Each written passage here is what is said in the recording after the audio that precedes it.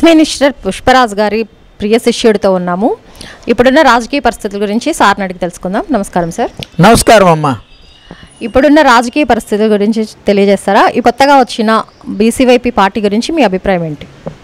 ఇప్పుడు ప్రతి ఒక్కళ్ళు కూడా నాలుగు రూపాయలు సంపాదించి ఏ అవినీతితో డబ్బులు సంపాదించి ఆ సొమ్మును కాపాడుకోవటానికి రాజకీయ పార్టీ పెట్టి కులాలను మోసం చేయటానికి ఎస్సీ ఎస్టీ బీసీ ద్రోహులు చాలామంది ఉన్నారు. ప్యాకేజీ యాక్టర్లో. వీళ్ళు కేవలం మోసం చేస్తుంది ధనిక వర్గాలను కాదు దళిత వర్గాలను మోసం చేస్తున్నారు. ఒక రైతుగా ఉన్న రామచంద్ర యాదవ్కి ఇన్ని కోట్ల ఆస్తులు ఎలా వచ్చాయంటారు? రామచంద్ర యాదవ్ అనే అతను ఒక డ్రైవర్. ఇతను తమిళనాడు మాజీ ముఖ్యమంత్రి. వాళ్ళకి తెలియకుండా ఆర్థిక నేరగాడు అవినీతి చేశాడు.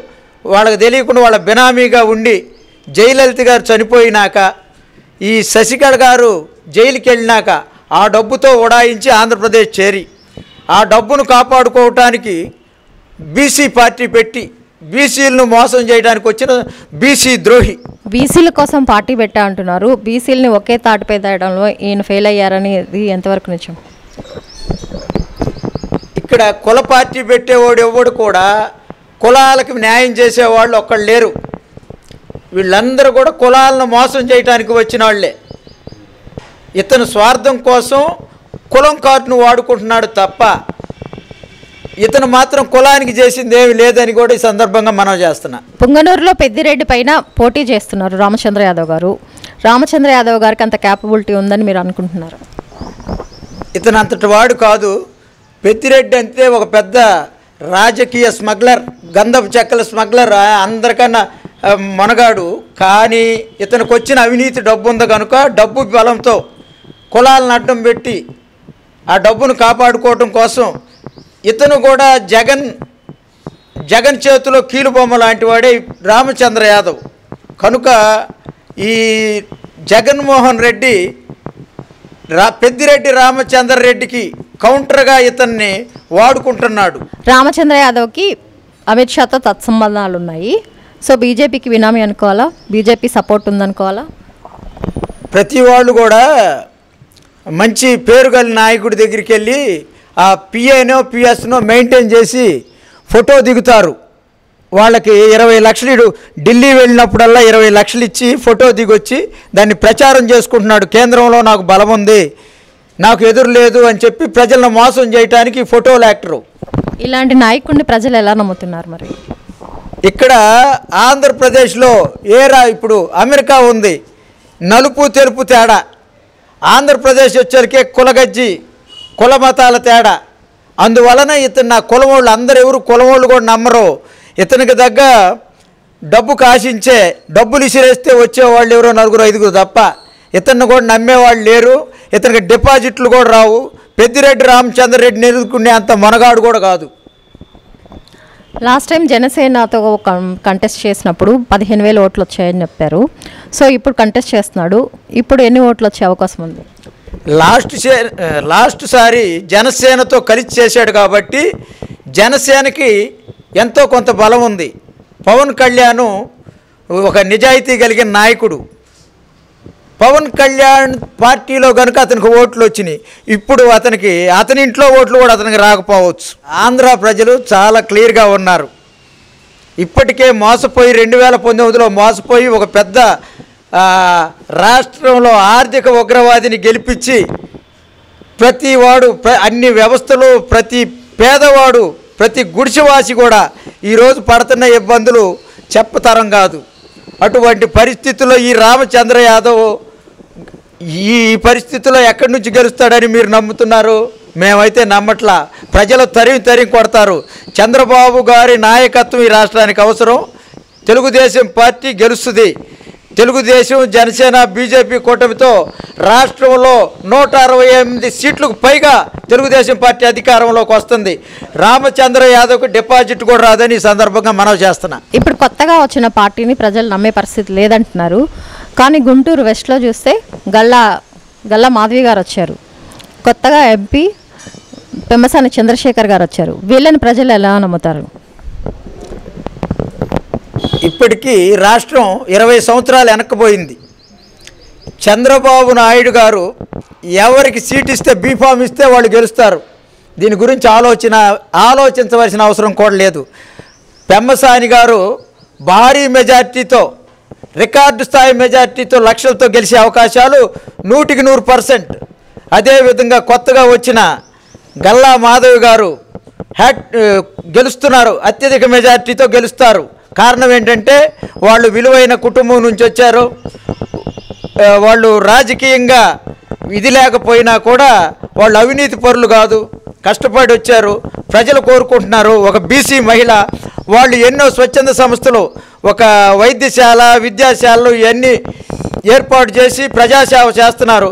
కనుక గల్లా మాధవ్ గారు మంచి మెజార్టీతో గుంటూరు పశ్చిమ నియోజకవర్గం నుంచి గెలవబోతున్నారు. రామచంద్ర యాదవ్ కేంద్రంలో ఇచ్చిన ఫిర్యాదుతో రమణ దీక్షితులు గారిని సస్పెండ్ చేశారు. ఇతని పాత్ర ఎంత ఉంది అతను సస్పెండ్ చేయడంలో? అబద్ధం చాలా అందంగా ఉంటుంది నిజం నిష్ఠూరంగా ఉంటుంది. అతను బ్రతుకు తెరువు కోసం ధర్మకర్తగా టీటీడీ బోర్డులో ఉంటుంటే ఒక మార్పింగ్ వీడియో చేసి మార్పింగ్ వీడియో చేసి అమిత్ షాకి ఇరవై లక్షలు అమిత్ షా పిఏకి ఇరవై లక్షలు ఇచ్చి అతని ద్వారా పైరువీలు చేసి అతని నోటికాడు జీవనం తీసిన దుర్మార్గుడు ఈ రామచంద్ర యాదవ్. ఒక ప్రముఖ ఛానల్కి ఇచ్చిన ఇంటర్వ్యూలో పెద్దిరెడ్డి రామచంద్రారెడ్డి గారు అన్నారు. రామచంద్ర యాదవ్ వార్డు మెంబర్గా గెలిచిన నా దగ్గరికి రమ్మని. దీన్ని మీరు ఎలా చూస్తారు? దాన్ని నేను అంగీకరిస్తాను. కారణం ఏంటంటే ఒక ప్రముఖ పత్రిక రాసింది ఒక ప్రముఖ టీవీ ఛానల్లో వచ్చింది ఒక రాష్ట్ర కీలకమైన మంత్రి గారు చెప్పారు. ఇతనిది అదే స్టేజీ. ఒక వార్డు మెంబర్గా కూడా పనికిరానివాడు. డబ్బుండగానే గెలవరు. ప్రజాప్రతినిధి కాలేరు. వ్యక్తిత్వం ఉండాలి. నిజాయితీలు ఉండాలి. ప్రజాసేవ చేయగలిగే సత్తా ఉండాలి. ఇవన్నీ లేనివాడు దేనికి పనికిరాడు? పెద్దిరెడ్డి రామచంద్రరెడ్డి గారు అన్న విషయాన్ని నేను బలపరుస్తున్నాను. పైగా కేఏ పాల్ గారు ఈరోజు వెనకబడితే వెనకపడవచ్చు ఒకప్పుడు అతని ఇంటర్వ్యూ కోసం ఆఖరికి దేవగౌడ మాజీ ప్రధాని కూడా అతను ప్రార్థన చేస్తేనే నా భార్య బ్రతికిద్ది బ్రతికింది అని చెప్పుకున్న రోజులు కూడా ఉన్నాయి ఆయన ఒక గొప్ప మనిషే. ఆయన పార్టీతో పోలిస్తే ఆయన ఒప్పుకోడని పెద్దిరెడ్డి రామచంద్రరెడ్డి గారు అంటున్నాడు. కనుక దాన్ని కూడా మేము ఆమోదిస్తాం. ఆయన వార్డు మెంబర్ అని అయిన తర్వాత రాజకీయ పార్టీ పెట్టింటే బాగుండేది. అది కూడా ఏది ఏమైనా రామచంద్ర యాదవ్ అనే అతను పనికిరాని నాయకుడు. డబ్బుండంగానే నాయకుడు కాలేడు అనేది మాత్రం నిజం. ప్రజలలో మంచిగా నీతిగా నిజాయితీగా బ్రతకగలిగిన స్థాయి ఉన్నప్పుడు ఆడు నాయకుడు కాకపోయినా పర్లేదు కానీ డబ్బు చూసి వాపు చూసి బొలుపు అనుకుంటున్నాడు రామచంద్ర యాదవ్. ఇదే ఇతనికి చివరి ఎన్నికలు ఇతను పార్టీ ఉండదు ఇతను ఈ రేపు తెలుగుదేశం పార్టీ వచ్చినా ఇంకే పార్టీ వచ్చినా ఇతను జైలు పాలవటం కన్ఫామ్. రాజకీయ లక్షణాలు లేవు. ఇతడు దోపిడీ దొంగ. ఎక్కడైనా దొరికితే దోచుకోవటం దాచుకోవటం. వాటిని దాచుకోవటం కోసం పద పదవి కావాలి. ఆ పదవి ఉంటే కాపాడిద్దని పదవి కోసం తాతలాడుతున్నాడు ఆరాట పడుతున్నాడు ఇతని కళ నెరవేరదు. జీవితంలో ఇతను వార్డు మెంబర్గా గెలవలేడు అనేది మాత్రం నగ్న సత్యం.